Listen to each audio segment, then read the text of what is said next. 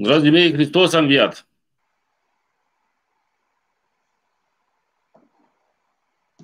Adevărat a înviat, da, se aude. Dați-mi voie să vă felicit din toată inima cu dubla sărbătoare de astăzi. Uh, nu cu adunarea lui Maia, dar cu ziua învierii, ziua Duminicii și cu ziua Sfântului Ioan, evanghelistul și teologul, din a cărui Evanghelie vom uh, inspira astăzi și vom încerca să deslușim tainele și misterul acestei vindecări pe care o săvârșește Mântuitorul. Uh, așa ca o mică paranteză la Apocalipsă, în descoperirea pe care o primește Ioan, Dumnezeu îi spune lui Ioan să spună lumii. La sfârșitul vremii, mulți vă vor chema și vor spune, iată, scaparea este aici, iată, lumina este dincolo, veniți la noi, că noi o să vă dăm și noi o să vă facem. Voi să nu-i credeți, să nu ieșiți din cămară și să nu ieșiți din case și să nu-i urmați. Iată, vremea sfârșitului vine, amăgitori sunt peste toți, nu că ar fi doar unul. Ei toți care îi cheamă pe oameni undeva sunt niște mincinoși, care pur și simplu își bat joc de oameni. Dar tuturor Dumnezeu le este judecătorul. Și mai citeam acum seara în uh, Cartea Apocalipsei, chiar la capitolul 1, atunci când vor spune gata, este bine și este pace, atunci va veni mânia lui Dumnezeu asupra lor și niciunul nu va scăpa. Așa că repet acest frumos verset a Sfântului Apostol Pavel. Păcat că ei nu-L cunosc pe Dumnezeu nostru. Pentru că Dumnezeul lor își are rădăcina în Sodoma pe vița ei din Gomora. Revenim la Evanghelia de astăzi a Sfântului Ioan, teologul și evanghelistul, în capitolul 9, de la versetul 1 până la versetul 38. Și vă rog să deschideți Sfânta Scriptură, să urmărim textul cumva, măcar, măcar cât e posibil, pentru că este un text foarte mare și necesită o dezbatere foarte amplă. Vom încerca măcar în scurt să uh, vedem târcul acestei Evanghelii și să luăm niște învățături, niște sfaturi pentru viața fiecare din noi. E vorba în această Evanghelie despre un orb și nu un orb oarecare, ci un orb din naștere. Care stătea la margine drumului și cercea, posibil, mai mult ca sigur, era dintr-o familie foarte săracă și nu aveau nicio șansă de supraviețuire. De aceea era ca un ultim, ca o ultimă soluție cerșitul sau mila oamenilor să poată trăi cumva, să poată mânca o bucată de pâine. Îl vede pe acesta Iisus, dar îl văd și ucenicii. Și ucenicii pun o întrebare aparent alogică. Și anume, versetul 2, ucenicii l-au întrebat zicând, învățătorule, cine a păcătuit acesta sau părinții lui de s-a născut orb? Prima parte a întrebării este un fără niciun fel de logică, dacă el s-a născut orb, atunci când putea să păcătuiască? Doar nu avea cum păcătui în pânticele mamei sale. Și totuși întrebarea aceasta are un sens, și anume sensul vine doar în a doua parte a întrebării, sau părinții lui au păcătuit de s-a născut orb. Și cărțile lui Moise, în cartea Ieșirii, în cartea Deuteronomului și în cartea Numeri, găsim trei citate, trei versete în care Dumnezeu îi spune lui Moise că va pedepsi până la al treilea și până la al patrulea neam copiii pentru păcatul părinților. De aceea, apostolii care cunoșteau legea lui Moise, erau uh, iudei, au pus această întrebare.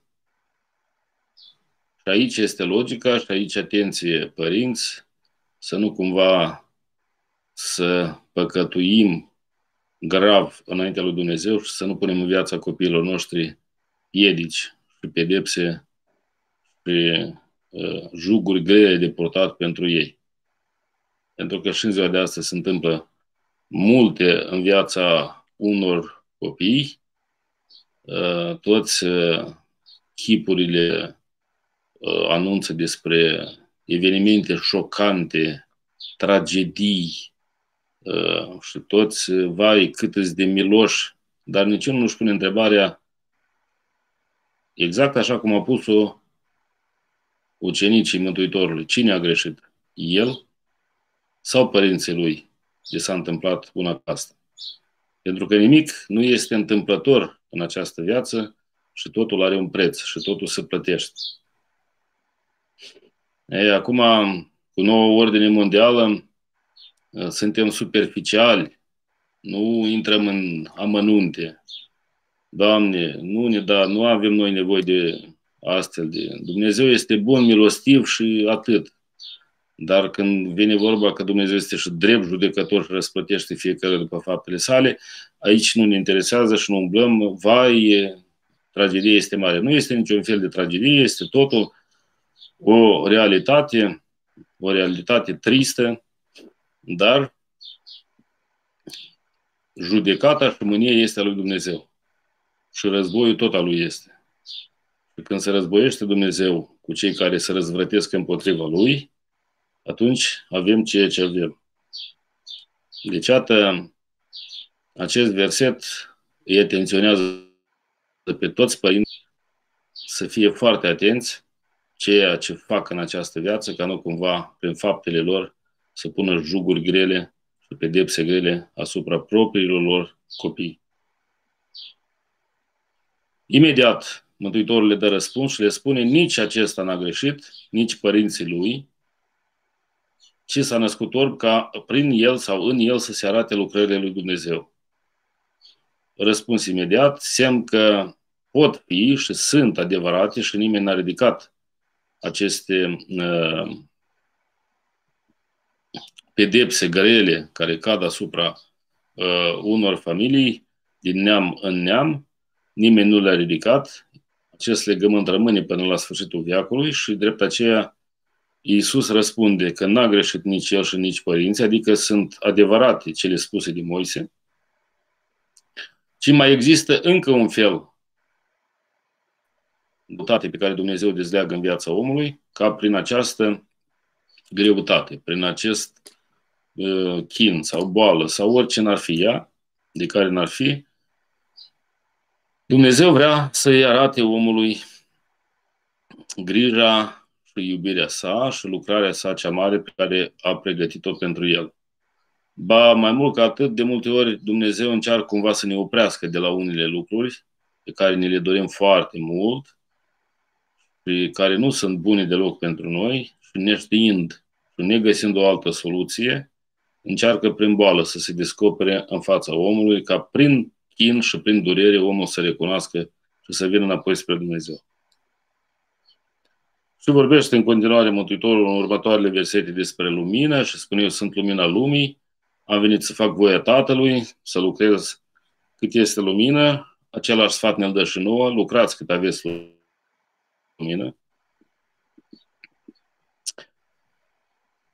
Și imediat se întoarce către acest om bolnav, către acest orb din naștere. Elementarul scuipă în pământ, în țărână, face tină, îi unge ochii și îi spune, mergi și te spală, dar nu oriunde, ci la scălătoarea Seluamului, care se tălcuiește trimis. Sfântul Ioan Teologul în Evanghelia sa ne dă toate amănuntele până și denumirea scăldătorii, pentru că nu este o scăldătoare întâmplătoare. Uh, și vom vedea pe parcurs uh, de ce l-a trimis Isus anume la această scăldătoare a Siloamului, care se numește trimis și nu l-a trimis să se spere oriunde. Sau n-a zis cuiva, tornați apă să se spere sau nu s-a atins de el și să-l vindece imediat, așa cum a făcut de atâtea ori, sau pur și simplu, prin cuvânt, să poruncească să se sălășuiască în ochii lui lumina. Dar l-a trimis la această dătoare a Siloamului. El a ascultat întru toate, a fost supus cuvântului lui Dumnezeu și poruncii lui Isus, a plecat spre această scăldătoare.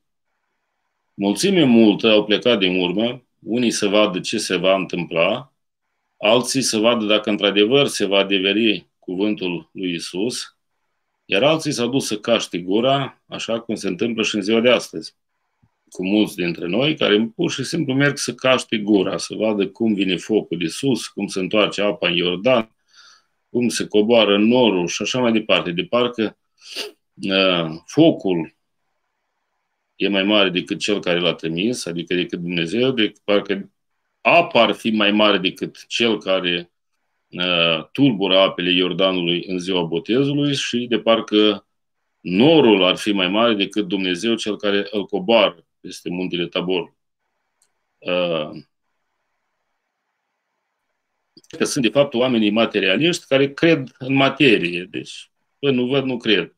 Trebuie să mă conving eu sigur, să văd eu cu ochii mei și oricum nimic nu se schimbă în viața lor, chiar dacă au fost și chiar dacă au văzut, câți n-au fost la Ierusalim, câți n-au fost la Iordan sau câți n-au fost la muntele Taborului. Și ce s-a întâmplat cu ei? Au făcut ei cumva pași grăbiți spre mântuire în viața lor? Cum au fost, așa au și rămas. Nimic schimbări, doar cu amintiri și da, apropo, poze. Numai decât poze, pentru că pozele ne duc în Împărăția lui Dumnezeu. Um, Acest orb merge la scăldătoarea siluamului, se spală și imediat își recapătă vederea. Aici este tragedia și dilema acestui om. Este, dacă putem să numim așa, răscurucea vieții sale, ispita vieții sale, pentru că în momentul când i s-au deschis ochii, pentru prima dată în viața lui a văzut soarele, lumina, oamenii cum arată, dar nu cunoștea pe nimeni. Era străin între ai săi. Nici măcar nu-și dădea seama care sunt părinții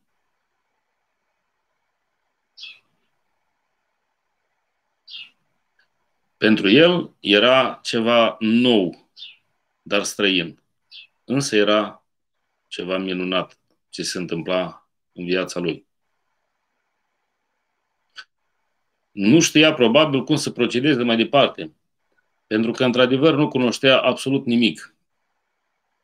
Probabil s-o fi gândit să închidă ochii ca să-și poată găsi casa, pentru că pentru Neric le cunoștea pe toate, era deprins cu toate mișcările, cu toate cărările pe care umbla. Și dibuind, găsea tot ce îi trebuia. Și dintr-o dată are lumina ochilor, are vedere. Dar toate sunt străine. Și ca o mică paranteză în uh, această Evanghelie, raportându-ne la viața noastră de zi cu zi, pe foarte mulți din ziua de astăzi îi deranjează lumina. Pe foarte mulți. Pe majoritatea îi deranjează lumina. Și nu oricare lumină, ci anume lumina dumnezeiască. Și atunci când ajunge să pătrundă în această lumină, când îi se deschid ochii, deodată devine străin și nu știe ce să facă nu este încrezut în pașii care urmează să-i facă, ba mai mult ca atât, chiar nici nu vrea să-i facă. și se retrage înapoi în întunericul lui, acolo unde se simte excepțional de bine, acolo unde cunoaște toate. Și nu are nevoie de astfel de lumină. Și preferă să trăiască în întuneric, preferă să trăiască în prostia lui mai departe, fără să accepte chemarea la lumină. Închidem paranteza. Ne întoarcem la Evanghelia noastră de astăzi. Deci, atât acest orb își trăiește drama vieții sale. Nu înțelege ce îi se întâmplă și nu știe ce să facă mai departe. Cu siguranță, de vreme ce a mers la scăldătoarea siluamului, o cunoștea după denumire. Și drumul, probabil, îl știa de vreme ce a mers acolo. Dar în, în fața ochilor îi era necunoscută. Nu știau să meargă mai departe. Ce să facă? Pe care drum să o apuce? Care este casa? Care sunt prieteni? Care sunt părinții? Paradoxul era că odată ce i s-au deschis ochii, nu avea niciun reper să, să cunoască pe cineva. Pentru că toate erau necunoscute. Și el nu mai devenise un reper pentru cei din jur. Pentru că marea majoritate nu mai recunoșteau. Așa întrucât uh, versetul 9, 8 și 9 uh, vecinii și cei care îl cunoșteau spuneau, oare acesta este orbul care stătea și cerșea? Și unii spuneau, el este. Iar alții spuneau, nu, nu, nu este el, seamănă cu el. Deci nici el nu mai era un reper pentru cei din jur. Iar el cu glas mare striga și zicea, eu sunt. Dar oricum nu l-au crezut. Paradoxul este că cel care era orb recapătă lumina ochilor, iar cei care aveau vedere, aveau darul vederii, au devenit dintr-o dată orbi și nu mai cunoșteau absolut nimic înaintea lor.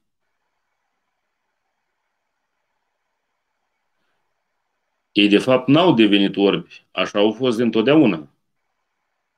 Și doar prin această minune Dumnezeu îi scoate la iveală și le arată orbirea lor, cât de orbi, deși au ochi și văd, cât de orbi pot fi unii oameni. Să nu priceapă și să nu înțeleagă lucrările lui Dumnezeu. Bineînțeles, n-a durat mult această dispută, imediat l-au, și l-au dus în fața fariseilor. De ce l-au dus la farisei? Nu ne spune Sfântul Ioan Evanghelistul. Probabil din cauza că era sâmbătă ziua aceea, iar după legea sâmbetei era interzis orice lucru, inclusiv tămăduirile, pentru că ele aveau loc sau au avut loc de fapt în vremea Mântuitorului, atât. Și în loc să se bucure toți de tămăduirea unui compatriot, unui frate de-al lor, ei mai degrabă l-au osândit și erau gata să-l și omoare pentru că a încălcat legea sâmbetei.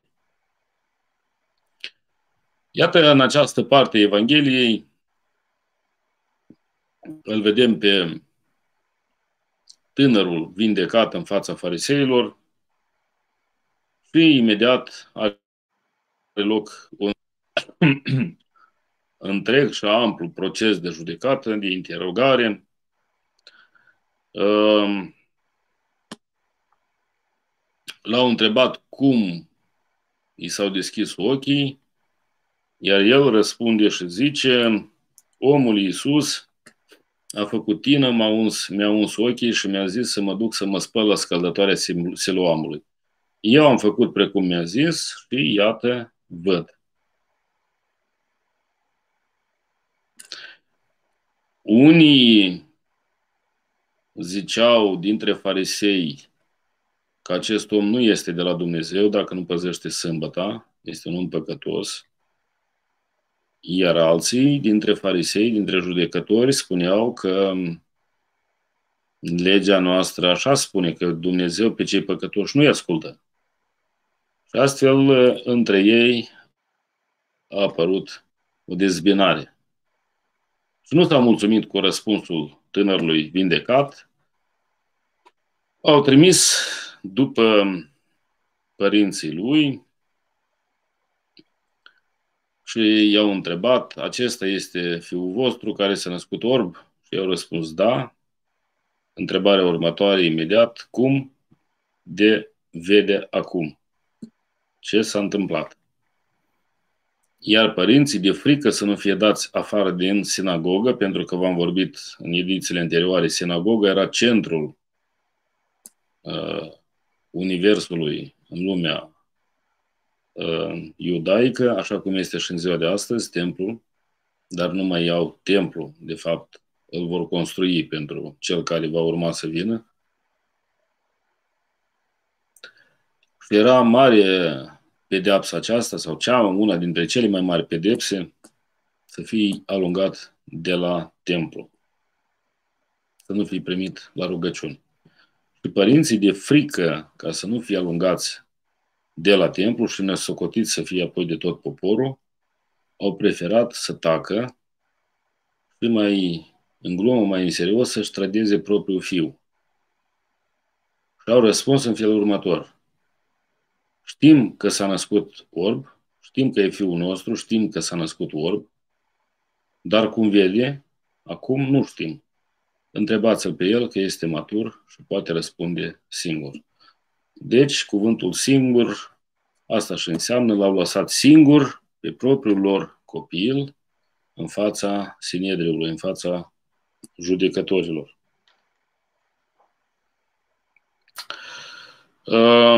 Se mai întâmplă și în ziua de astăzi și se vor întâmpla cazuri de astea mult mai multe spre sfârșitul uh, existenței acestea pământești, când spune Mântuitorul, tată pe fiu, fiu pe tată, mamă pe fică și invers se vor da la moarte, se vor judeca unul pe altul. Așa că n-ar fi demerare că acest lucru s-a întâmplat încă atunci. Și iată, Sinedrist, el cheamă a doua oară pe cel vindecat, versetul 24, și îl întreabă și îi spun, dă slavă lui Dumnezeu, pare să nu fie un îndemn rău, dar ceea ce urmează este grav. Noi știm că omul acesta este păcătos. Întrebarea este cine sunteți voi și de unde știți voi că omul acesta este păcătos. Cuvântul acesta noi știm, îl auzim pretutindeni. Tot știu. În ziua de azi tot știu. Și nu contează ce dar absolut toți știu. Fie că sunt mai mari templului, fie că sunt mai mari țării, fie că sunt, nu știu, mai mari instituții și așa mai departe. Ei toți știu. Dar ce știu ei, nu știu absolut nimic. Iată cât de viclean încearcă să, să-l facă pe un om să se lepede de binefăcătorul său, care de fapt este însăși Dumnezeu. Noi știm că acesta este păcătos. Și, atenție, aici are loc mezul sau esența, una din esențele Evangheliei de astăzi. Versetul 25. A răspuns acela, dacă este păcătos, nu știu. Un lucru știu. Că fiind orb, acum văd. Orbirea lui și recăpătarea vederii, de fapt, era ceea ce spune Isus în versetul 3 al acestui capitol. ca să se arate lucrările lui Dumnezeu în el. Deci, vederea pe care are căpătat-o este lucrarea lui Dumnezeu în om. Și aceștia întreabă iarăși și zic, deci ce ți-au făcut? Cum ți-au, ți-a deschis ochii? Și versetul 27, răspunsul tânărului vindecat. Le-a răspuns, v-am spus acum și n-ați auzit. De ce voiți să auziți iarăși? Și aici îi ia un pic în defăimare și le spune, nu cumva voiți să vă faceți și voi ucenicii lui?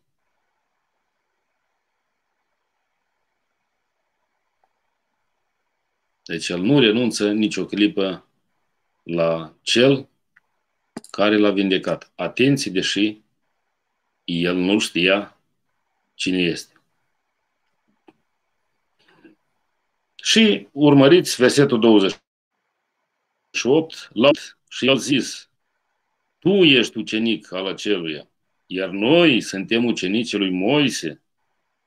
O, oh. Noi știm că Dumnezeu a vorbit lui Moise, iar pe acesta nu știm de unde este. Iarăși aceeași problemă, noi. Euul acesta de care nu poate scapa practic niciun om. Noi știm, noi cunoaștem, noi suntem, numai noi. Noi și mai mult nimeni. Deci, iată, noi nu știm cine este acesta. Și răspunsul fenomenal pe care îl dă tânărul. A răspuns omul și le-a zis.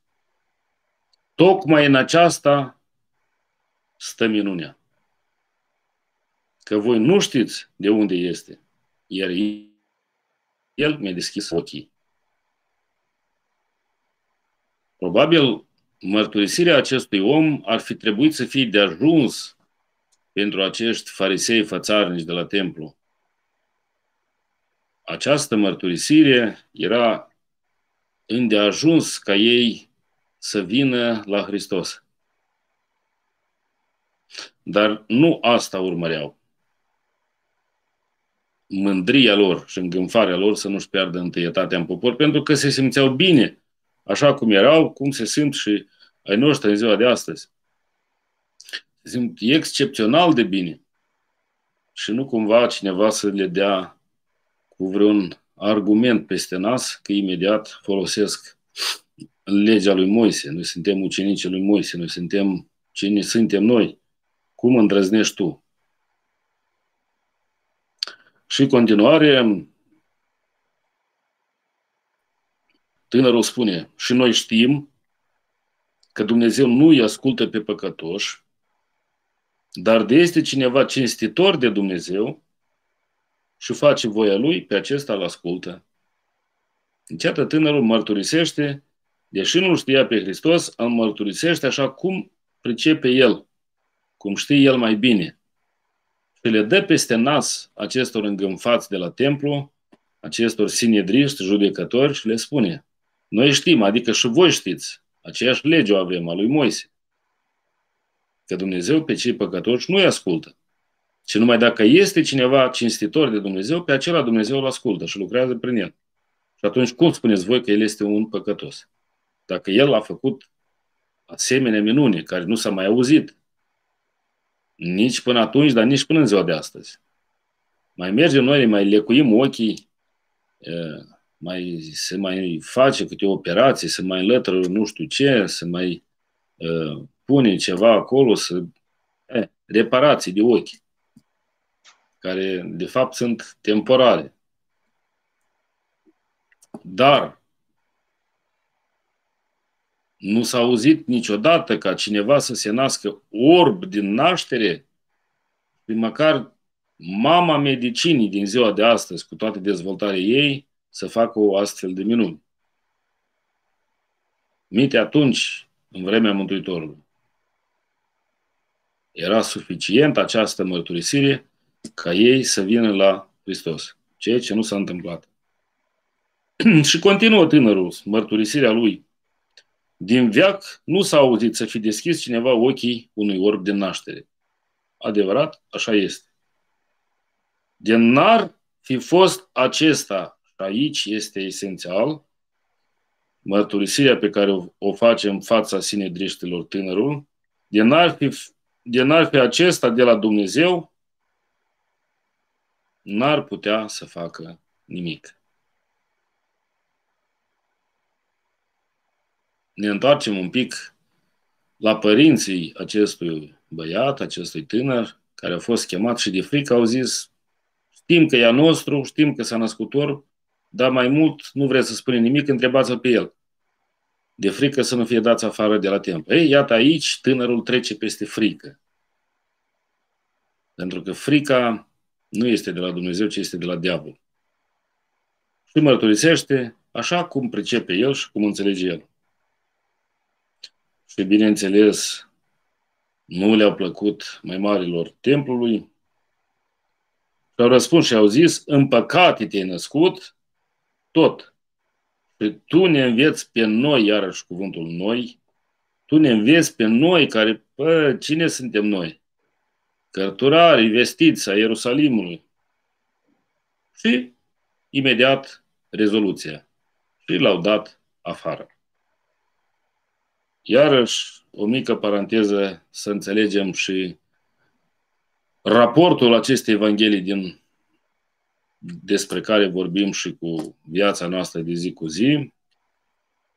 Încercați fiecare oriunde, fie munciți, fie oriunde vă aflați și încercați să vă opuneți acestor noi care știu toate și au putere de decizie și încercați să le spuneți doar adevărul, fără să adăugați nimic. Purul adevăr. Și vedeți că lumina deranjează. Preferă mult să stea în întuneric, iar în momentul când cineva le dă sau le scoate lumina în fața ochilor, îi deranjează și imediat este dat afară.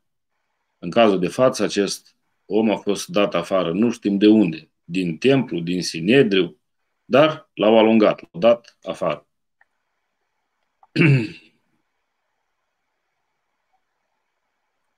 Și partea a treia acestei Evanghelii, care este foarte importantă, și a auzit Iisus că l-au dat afară și găsindu-l, iarăși Evanghelia nu ne spune unde l-a găsit, și a zis, Crezi tu în Fiul lui Dumnezeu?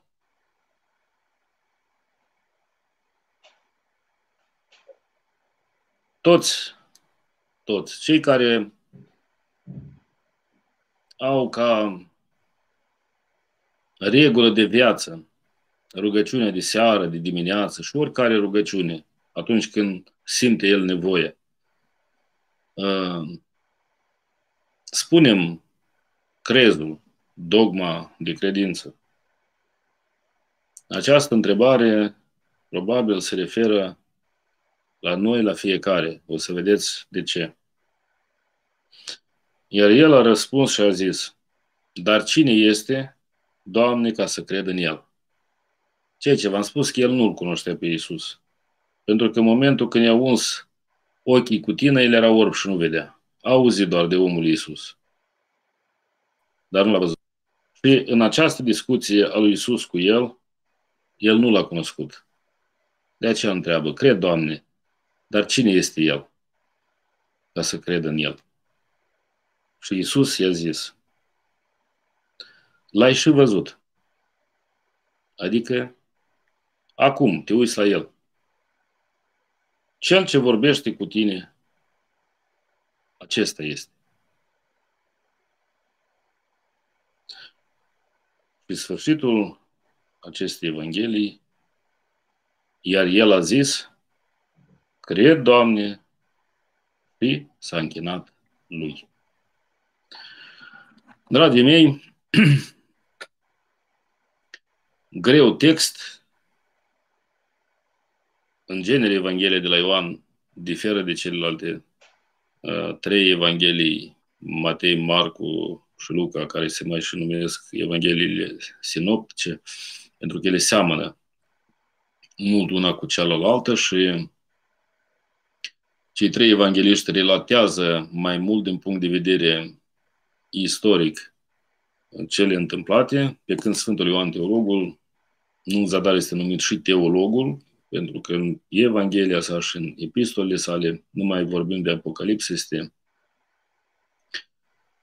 cea mai înaltă teologie pe care o putem auzi și descoperi vreodată. De aceea e greu și mult de explicat. Această Evanghelie încercăm să scoatem câteva idei din ea care să ne fie repere pentru viața noastră. Prima parte a Evangheliei, ne reîntoarcem puțin la ea.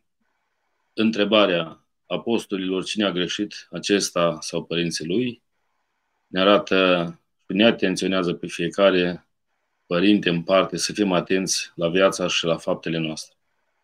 Că prin faptele și păcatele noastre putem dăuna grav viitorul copiilor noștri. Și, din păcate, avem astfel de cazuri grave, dar iarăși nu umblăm la cauză, privim doar la efecte și încercăm să îi jălim și să îi deplângem așa cum știm noi mai bine omenește, iar la cauză nu umblă nimeni și aceste efecte vor fi continui, veșnici. Partea a doua a Evangheliei, tămăduirea sau deschiderea ochilor, se întâmplă minunea cea mare pentru că Hristos nu întâi deschide ochii trupului și apoi îi deschide ochii sufletului. Paradoxul este și dilema este între a privi și a vedea. Mulți privim, dar puțin văd. În momentul când privești la o icoană, trebuie să și vezi, dar nu să vezi doar icoana, ci să vezi, să pătrunzi cu ochii sufletului în cel care stă în spatele icoanei. Privind la icoană, nu te uiți ca la un portret, ca la un tablou, ci îl vezi pe însăși împăratul slavei.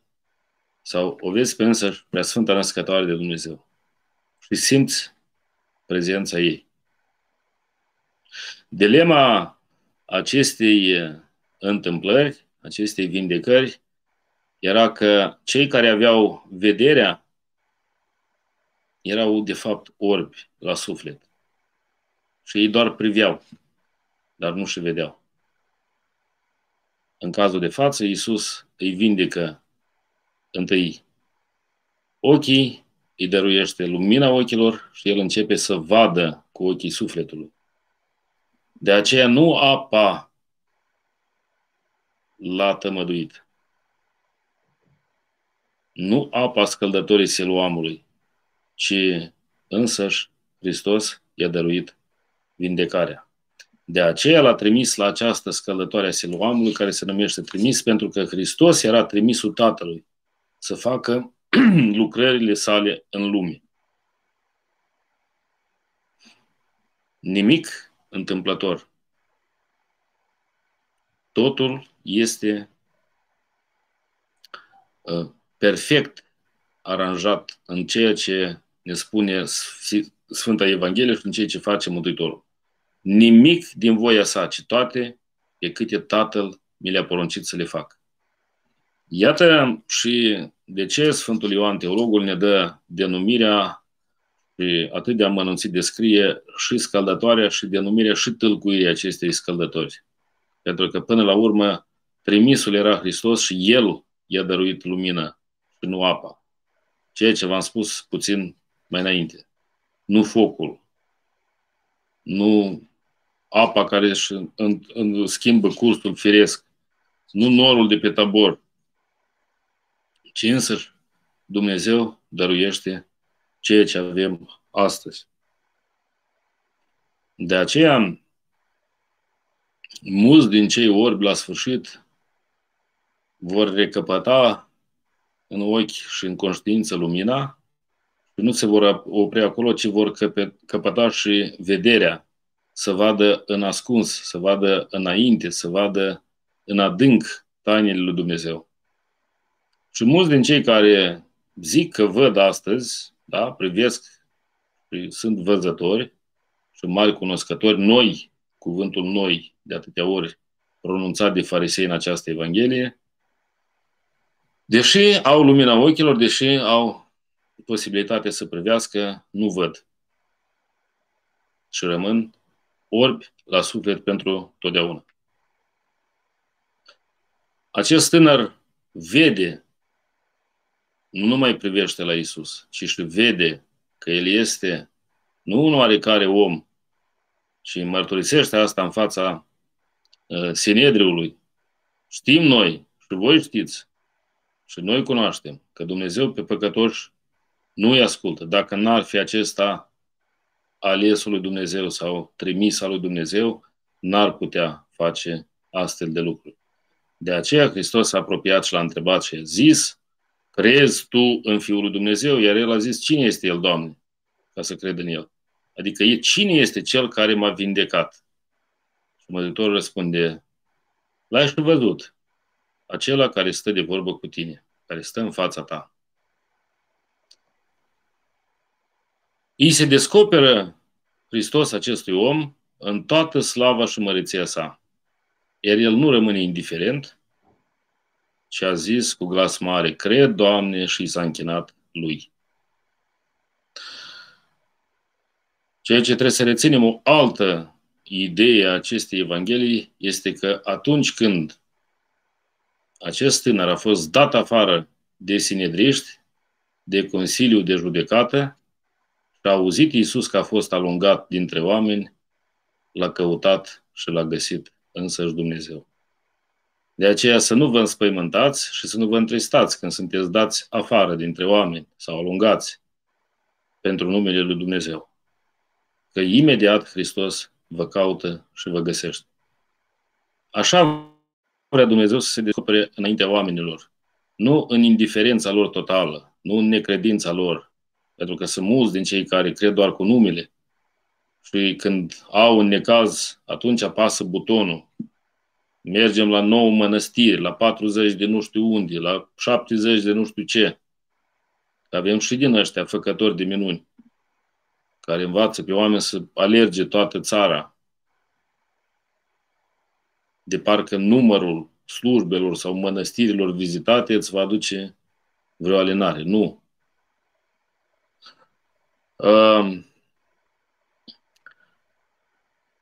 Așa se descoperă Dumnezeu înaintea oamenilor ca prin această descoperire sau prin această durere să se arate slava și măreția lui Dumnezeu.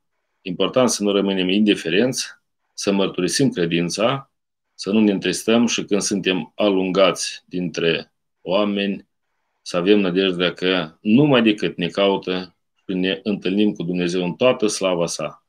Și atunci nu ne rămâne decât ca și acest orb de naștere să spunem, cred, Doamne, și să ne închinăm Lui.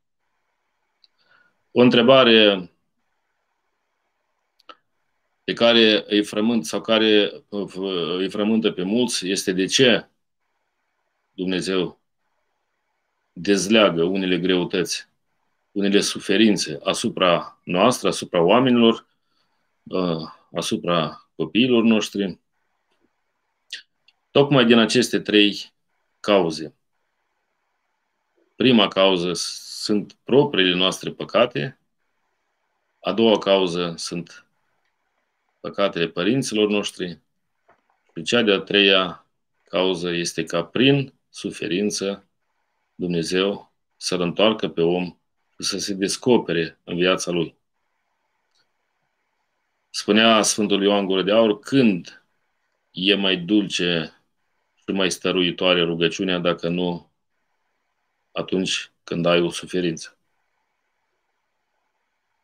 Îmi place des să-l citesc pe uh, vrednicul de pomenire, starețul mănăstirii Secu, Vicentie Malău, Dumnezeu să-l odihnească, avea el niște cugetări fenomenale atunci când stătea la pat. Și una din aceste cugetări uh, sună cam așa. În anii durerii am învățat să mă rog. Deci iată că nu întotdeauna durerea pe care noi o vedem a fi rea și a fi apăsătoare și grea, pusă pe umerii noștri sau a celor dragi nouă, este chiar așa de rea. Știe Dumnezeu ce știe și are Dumnezeu lucrarea sa în lume. Important este să nu cădem în păcatul greu al deodejdii, ci să realizăm și asta le recomand tuturor întotdeauna în caz de boală. Unii când se îmbolnăvesc, aleargă să-și facă Sfântul Maslu, să nu știu ce. Nu. în momentul când te cercetează Dumnezeu cu boală și cu chin, primul lucru care trebuie să-l faci, să-ți revizuiești propria ta conștiință, propria ta viață. Și tuturor le recomand o spovedanie din copilărie. Ceea ce s-a uitat, ceea ce n-a, nu s-a uh, spovedit, ceea ce s-a trecut sub tăcere, deci apasă pe sufletul omului, aceea trebuie scos dinăuntru și aruncat în afară. Că e foarte probabil ca ceea ce se întâmplă unui om să aibă legătură directă cu propria lui viață. Iar dacă Dumnezeu a dezlegat suferința și durerea, atunci are El lucrarea sa pentru acest om în lume. Și numai decât îl va cerceta și își va arăta slava sa în toată măreția sa. Aceste cinci duminici înainte mergătoare Marelui praznic al înălțării Domnului sunt toate legate împreună sau toate au același sens sau le leagă ceva. Și anume descoperirea lui Dumnezeu înaintea oamenilor. Avem prima duminică, duminica lui Toma, când îi se descoperă Dumnezeu și Toma exclamă, primul dintre apostoli îl mărturisește ca Domn și Dumnezeu, închinându-i se. Apoi avem Duminica Femeilor Mironosiții, care și ele, mergând la mormânt și întorcându-se înapoi, li se arată Hristos, îl recunosc și cad cu fața la pământ și îi se închină lui. Avem apoi pe slăbănogul vindecat la scăldătoarea oilor, care și acesta îl mărturisește pe Dumnezeu atunci când Hristos îi se descoperă lui. Am avut duminica trecută, duminica Samarinenții, această femeie din Samaria, care vine să ia apă de la fântâna bătrânului patriarh Iacov și se întâlnește cu Isus. În urma discuției pe care o are, merge și face apostolie adevărată în uh, Samaria. Și cheamă pe toți și le spune veniți și vedeți pe cel care mi-a spus toate câte am făcut, oare nu este acesta Hristos? Iar mai apoi Hristos se descoperă și îi spune, Duh este Dumnezeu, la care femeia răspunde, știm că va veni Hristos care este Mesia și ne va spune mult mai multe decât ne spui tu. Și iarăși Hristos a doua oară se descoperă și îi spune, eu sunt cel ce vorbesc cu tine. Și iată vindecarea orbului din naștere, prin care iarăși Hristos îi se descoperă acestui om și îi spune, crezi în, în Fiul lui Dumnezeu, iar el întreabă cine este să cred și el îi spune, l-ai și văzut și cel care stă este cel care stă acum de vorbă cu tine. Toate aceste cinci parabole, cinci întâmplări din Evanghelie nu fac altceva decât să ne pregătească, să ne ridice cu gândul și cu Duhul și să ne pregătească spre mărețul praznic al înălțării. Adică să înălțăm gândirea și pe sufletul nostru sus spre Dumnezeu. Oare câți dintre noi nu privim astăzi, fie în rugăciunea particulară, fie în rugăciunea comună spre icoana Mântuitorului sau Maicii Domnului. Întrebarea este dacă și vedem mai departe de această Sfântă Icoană ceva. Iată, la aceasta ne cheamă Sfinții Părinți, nu în zadar au fost alese aceste uh, parabole, aceste pericope evanghelice pentru pregătirea noastră sufletească și pentru înălțarea noastră.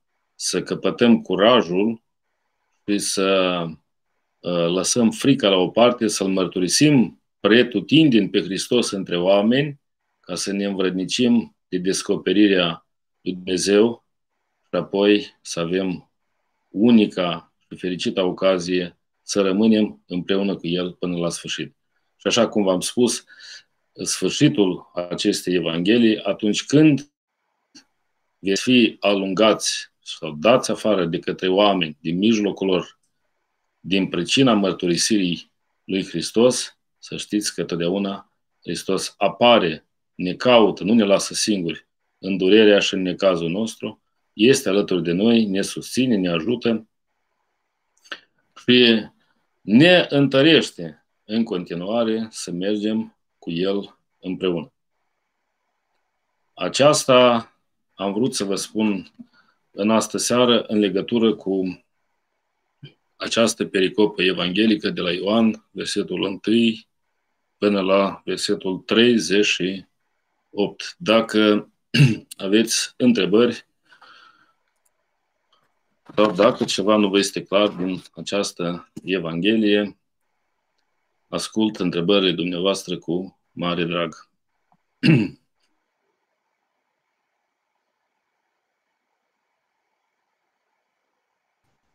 Hristos a înviat, Părinte. Adevărat înviat.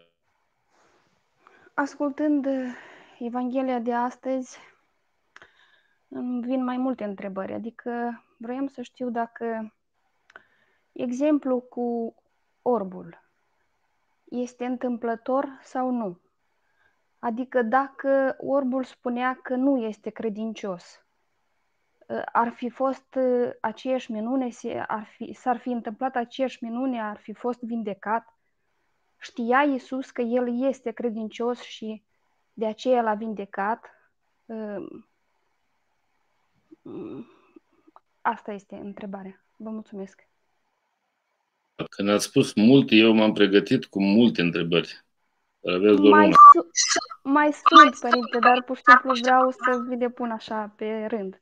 Vă mulțumesc. Uh, răspunsul îl găsim exact uh, uh, în versetul 3, dacă aveți Sfânta Scriptură. Exact în versetul 3 este și răspunsul la întrebarea dumneavoastră. N-a păcătuit nici el, nici părinții lui, ci s-a născut așa ca prin el să se arate lucrările lui Dumnezeu. Deci, încă de la nașterea lui l-a ales Dumnezeu ca prin acest om să se arate lucrarea sa. Dacă ați înțeles ce vreau să spun. Pe unii Dumnezeu îi cercetează cu pedeapsă, că bine, nu pedepsește Dumnezeu până la urmă pe nimeni, noi singuri ne pedepsim, de aia avem lege. În momentul când ai încălcat legea, nu te pedepsește cineva, tu singur te-ai pedepsit pe tine. Pe unii pentru păcatul părinților, pentru că există vechiul legământ dintre Dumnezeu și Moise cu poporul ales, iar altora le slobozește Dumnezeu o greutate și o suferință în viață, ca la vremea cuvenită să se descopere și să-și arate lucrarea. Iar orice om care este în suferință, nu are cum să fie departe de Dumnezeu. De aia și slăba de Dumnezeu aceasta, ca să-l apropie pe om de Creatorul său. Să înțeleagă că singura și unica lui scăpare este acolo și nu în altă parte. Drept urmare, tânărul acesta vindecat a zis în Sinedrul la judecători, nu s-a mai auzit până acum ca cineva să facă astfel de minuni. Lucrarea lui Dumnezeu l-a întărit pe el și l-a pus pe care, deși el nu știa cine este, l-a auzise doar de omul Iisus, nu l-a văzut niciodată. Nici după ce s-a făcut sănătos nu știa cine este. Dar mișcat fiind de această minune mare, n-a rămas sau n-a putut să fie indiferent. Vrei sau nu vrei, te cu tremuri, tu te temi. Alte multe vindecări pe care le-a făcut Iisus în vremea sa, fie învierea de morți, cele două sau trei învieri, deci vedem acolo, spune evangeliștii, poporul s-a cutremurat și a dat slavă lui Dumnezeu. La, sau, au fost cuprins de frică și de uimire și de mirare. N-ai cum să vezi un, o minune ca asta și să rămâi indiferent cumva, undeva. Deci, atât nu e vorba că dacă ar fi spus sau dacă n-ar fi spus. Oricine din noi, oricine din noi ar avea parte de o astfel de minune, cât de necredincios n-ai fi, prin această descoperire, prin această minune, devii cel mai credincios în momentul respectiv. Pentru că doar atunci înțelegi că ceea ce ai sperat tu și ai crezut tu, nu știu în ce balade și în ce vraci minunați și în ce nu știu cum și n-au putut nimeni niciodată să-ți facă absolut niciun bine, într-o clipă, într-o scuipătură banală jos pe pământ, te-ai făcut sănătos. Deci, iată, uh, ce-ar fi, dacă am înțeles eu întrebarea corect, ce-ar fi sau ce s-ar fi întâmplat dacă acesta ar fi spus că nu crede? Nu avea cum să spună că nu crede, pentru că deja Hristos îi deschisese și ochii trupului, dar mai apoi și ochii sufletului. Și el vedea mult mai departe. În momentul când a mers în Sinedru la judecată, el n-a mai vorbit doar de cele omenești, ci a mărturisit cele dumnezeiești. Și a spus, noi știm că Dumnezeu pe păcătoși nu-i ascultă.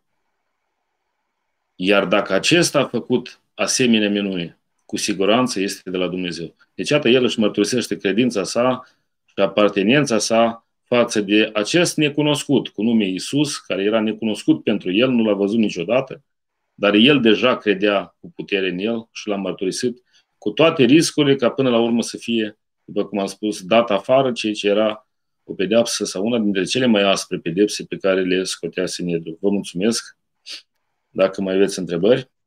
Pot să vă adresez și a doua întrebare. Ați spus anterior cât este lumină lucrat. Adică nu sunt cuvinte la propriu, la figurat. Cum ne le tălmăciți cuvintele date? Vă mulțumesc!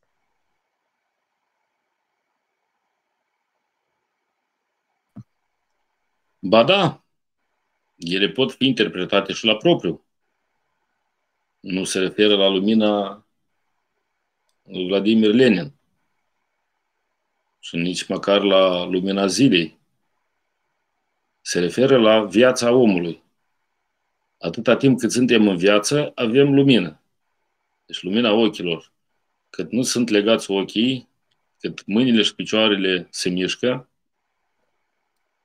acesta este și lucrul nostru. Iată, spune Mântuitorul în versetul 4. Trebuie să fac până este ziua lucrările celor ce m-a trimis pe mine. Că vine noaptea, adică vine moartea, când nimeni nu poate să lucreze era și om adevărat Iisus, dar și Dumnezeu adevărat. Și era conștient de faptul că vine vremea sau se împlinește Scriptura când Fiul omului va fi dat în mâinile oamenilor păcătoși să fie răstignit. Și din clipa aceea nu mai poți face absolut nimic. El a făcut și după, dar deja ca Dumnezeu doar adevărat, nu și ca om adevărat.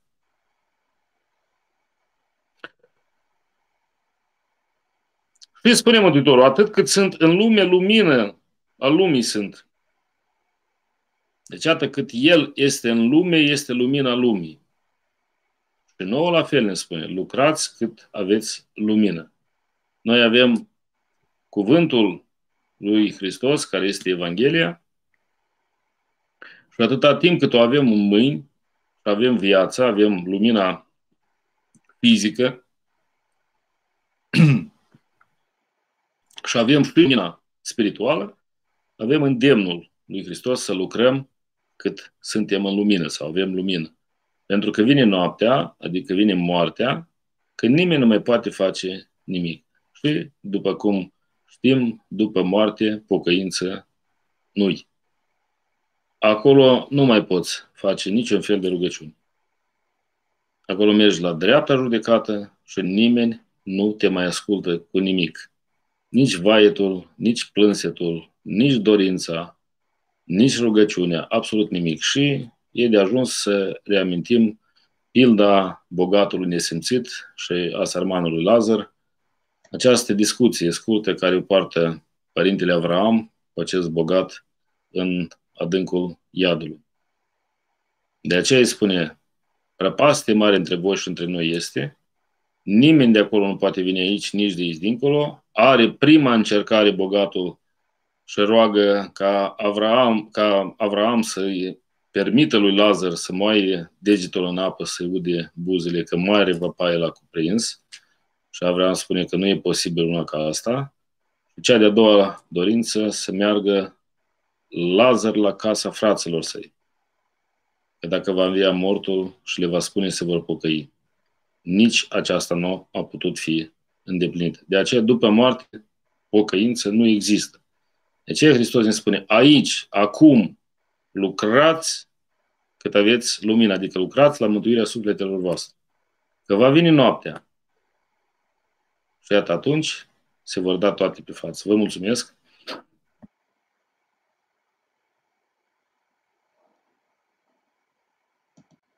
Părinte Hristos a înviat. În contextul discuției despre îndemnul lui Isus să lucrați cât aveți lumină și întorcându-ne la versetul 7, unde Iisus îl îndeamnă pe orbul din naștere, mergeți de te spală în scăldătoarea Siluanului. Deci îl invită la o acțiune. Eu vreau să vă întreb, pe cât de grav este păcatul lenevirii și cum să înțelegem corect îndemnul lui Dumnezeu, cerurile se cuceresc? Reieșind din Evanghelia pe care astăzi o discutăm. Mulțumesc! Aici este o temă mai amplă. Pornim de la ideea că lenia este păcat de moarte. Uh, acum, nu neapărat uh, ne cheamă Iisus să facem în ogoare, nu acolo, ci pe tărâmul sufletesc. Pentru că tot ceea ce este lumesc, al lumii rămâne. În el sunt amprentele și Duhul lumii.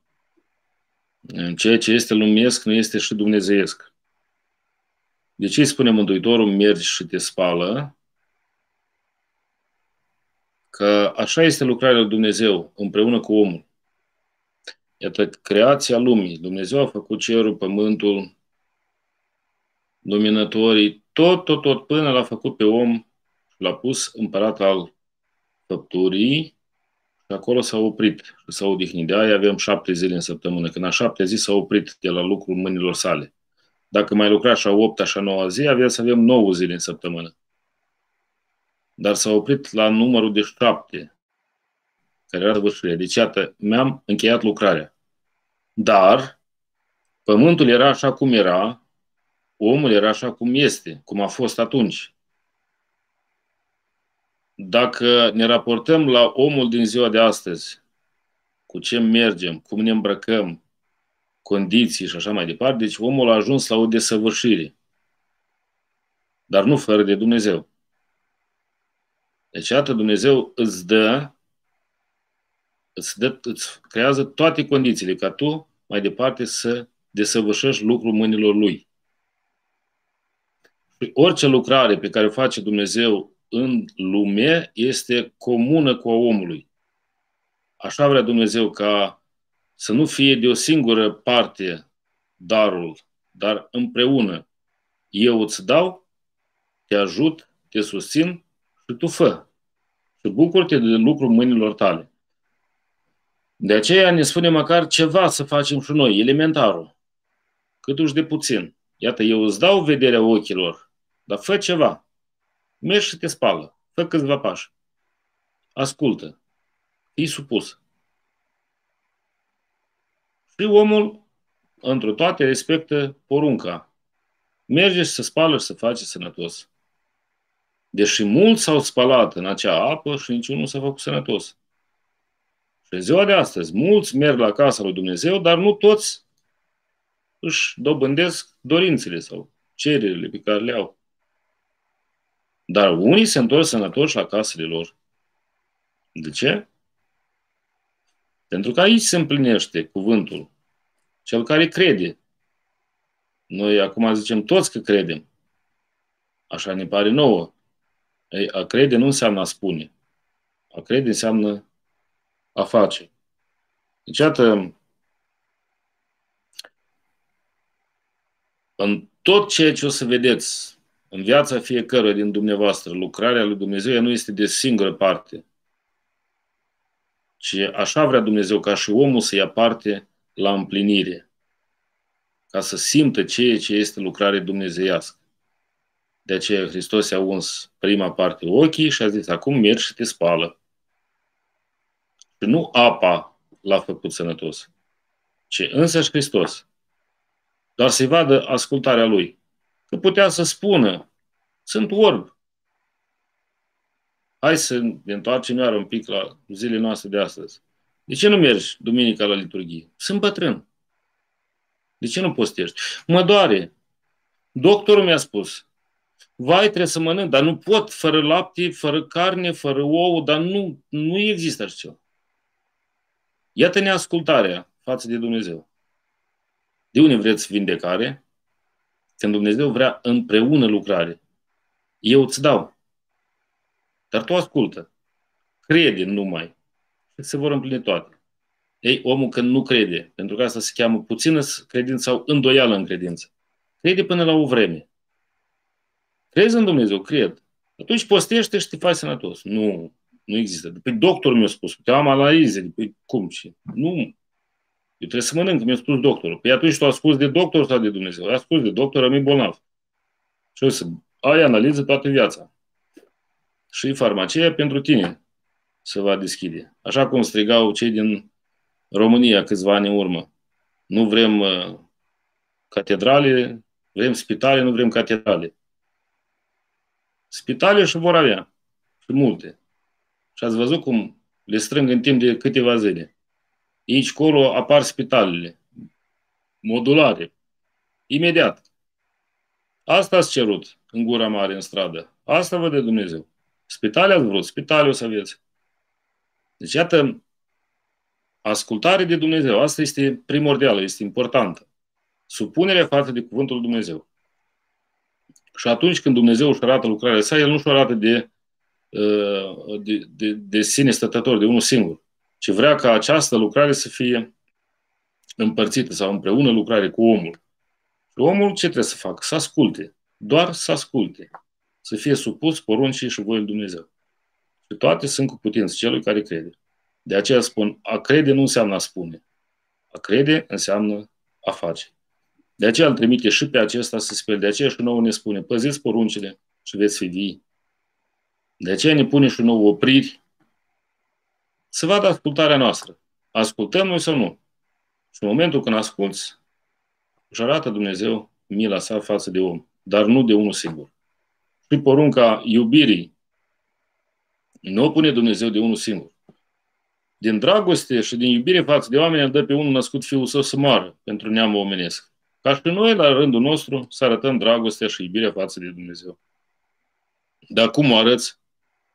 Spunând numai? Nu. Ascultând și îndeplinind. Așa este și cu iubirea față de părinți. Sunați părinții și spuneți-le de patru ori, de cinci ori pe zi că îi iubiți și respectați, dar nu mergeți cu câte 10 ani la ei. Și cu siguranță o să vă întreb părinții, la ce mai spui că mă iubești dacă nu vii? Păi, cum îți arăți iubirea față de tata sau de mama? Mergând la ei, ajutându-i, susținându-i, fiindu-le alături. La fel, soțul, soții, dacă i-ar spune că o iubește de dimineață până seara, dar nu vine câte o lună acasă, doar nu știu pe unde. Și atunci ce fel de iubire este asta? Prin cuvânt? Nu. Prin faptă. De asta Hristos îi spune și acestui tânăr, mergi și te spală. Sigur, motivii putea să găsească o mie și unul, dar el a ales calea credinței, ascultării, supunerii. Și a mers și s-a spălat și s-a făcut sănătos. În asta constă trimiterea uh, acestui tânăr la scăldătoarea Siloamului și, uh, dacă vreți, trimiterea noastră în lume să lucrăm cât avem lumină, adică să lucrăm la propria noastră mântuire, la propria noastră conștiință, ca lucrarea lui Dumnezeu să fie împreună cu omul. Dumnezeu partea lui și-a făcut-o. Acum rămâne să facem noi lucrarea noastră. De ascultare, de supunere și atunci vom vedea slava lui Dumnezeu în fiecare din noi cum lucrează și lucrurile Dumnezeu cum se arată între oameni. Vă mulțumesc. Dacă mai aveți întrebări.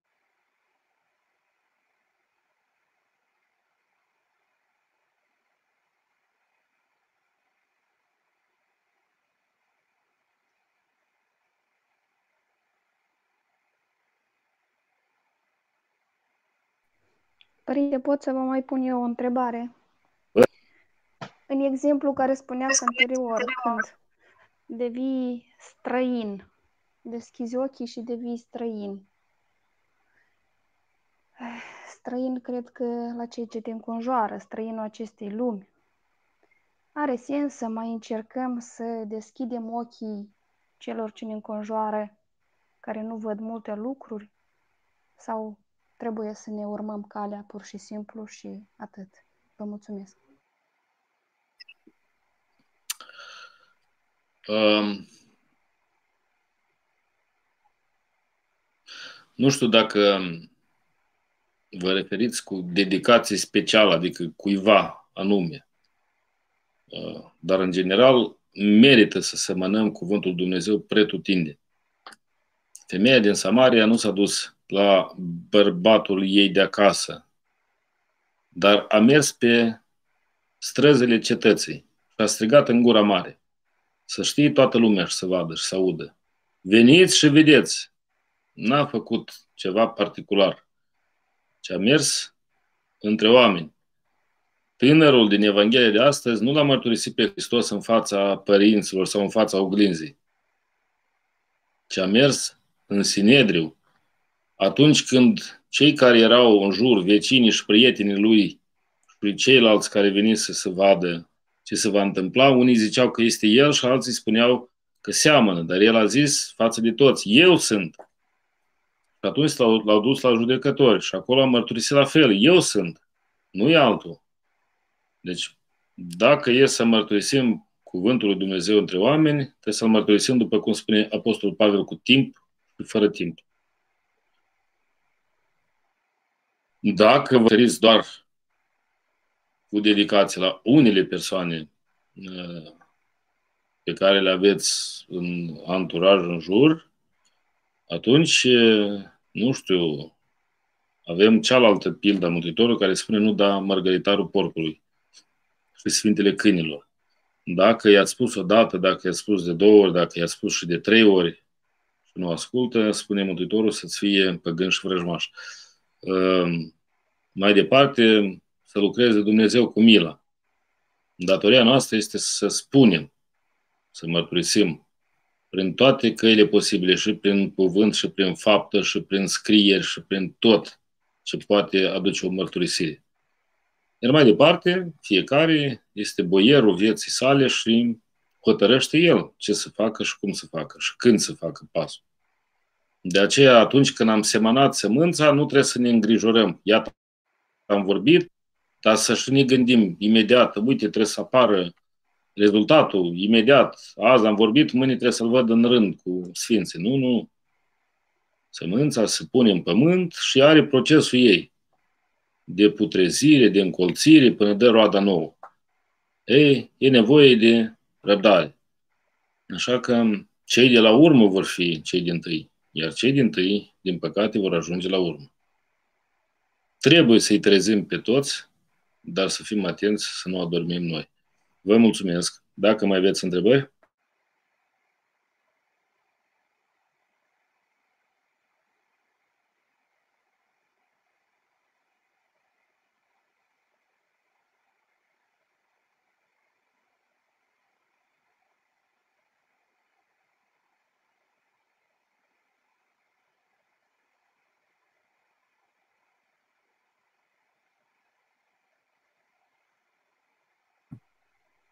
Da.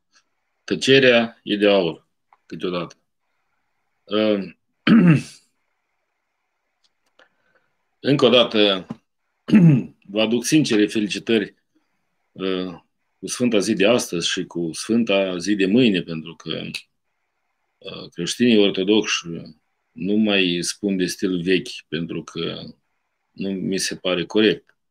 Mi se pare corect să spun creștinii ortodoxi de stil adevărat, de stilul autentic, de stilul mm, Sfinților Părinți, cel care l-am păstrat până în ziua de astăzi.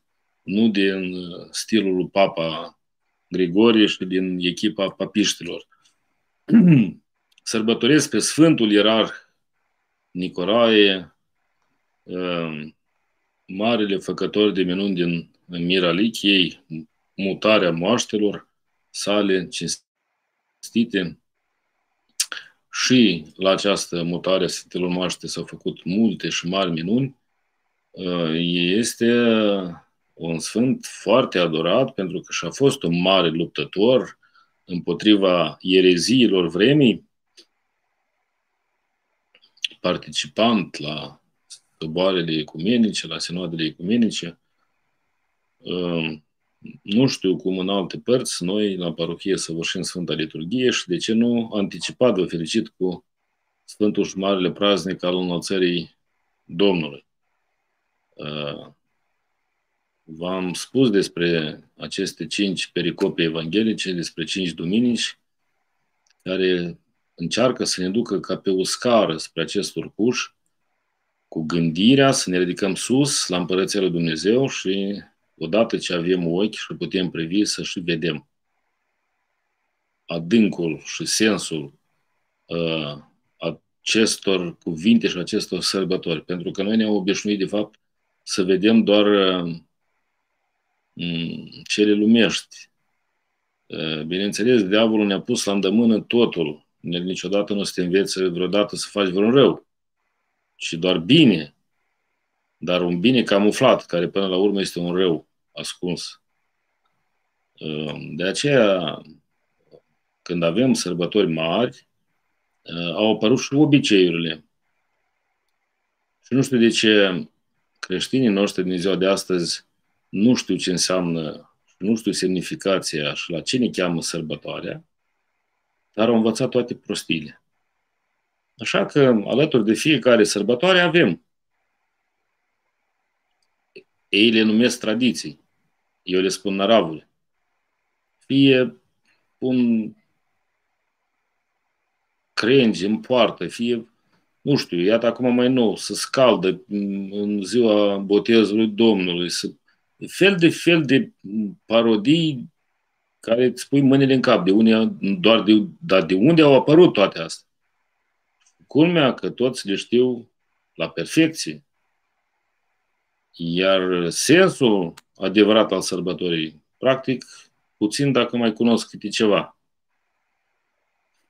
De aceea, eu vă îndemn să rămâneți în biserica adevărată a lui Hristos și dacă avem ochi și putem privi, să încercăm să și vedem în adânc.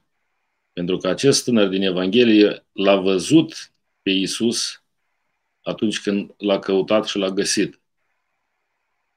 Iar la întrebarea lui Isus cine este Doamne ca să cred în El, Isus i-a spus El l-ai și văzut, eu sunt cel care stă de vorbă cu tine.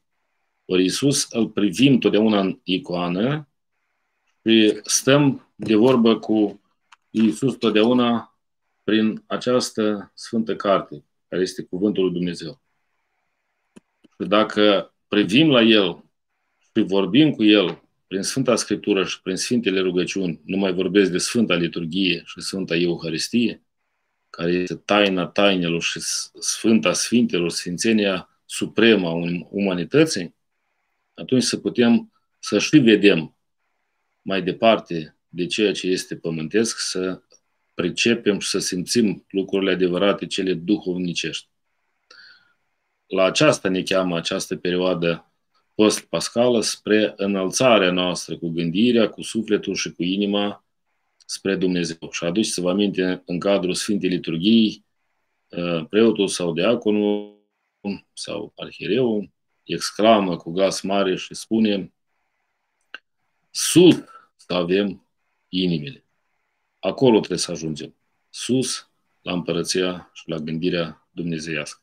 Vă mulțumesc tuturor și pentru această seară, Bunul Dumnezeu să ne întărească, să ne ajute, iar Sfântul Ioan Teologul și Evanghelistul să fie rugător și mijlocitor între noi și între Dumnezeu. Tuturor vă doresc o seară liniștită și o săptămână binecuvântată în rugăciuni și în fapte bune. Doamne, ajută tuturor! Hristos a înviat, cu adevărat a înviat!